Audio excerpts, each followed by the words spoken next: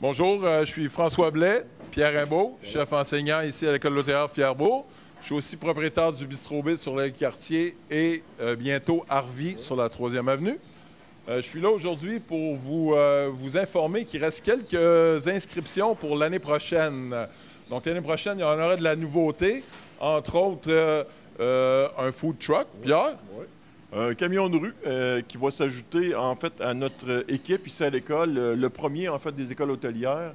Et puis il va y avoir euh, plein d'activités euh, euh, qui vont être reliées au camion de rue, de la formation à l'intérieur du camion de rue pour euh, évidemment les étudiants qui vont s'inscrire. C'est nouveau, on a hâte de le voir, on a hâte de cuisiner dedans en plus.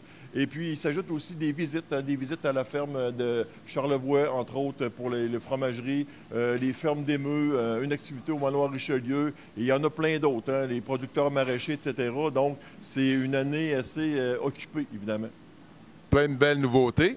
Donc, il y aura une journée d'information le 29 mai ici en soirée et aussi une journée porte ouverte le 19 juin, euh, entre autres avec le food truck. Le camion de rue, venez y goûter, venez déguster.